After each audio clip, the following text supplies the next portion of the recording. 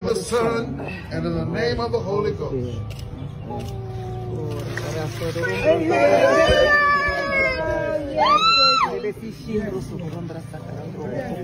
Come on, y'all. Blac Chyna, one of the biggest celebrity thotties in recent memory. Not only she had or has an OnlyFans, she had multiple kids by multiple men, and not that long ago she was on various hip hop music videos twerking it up.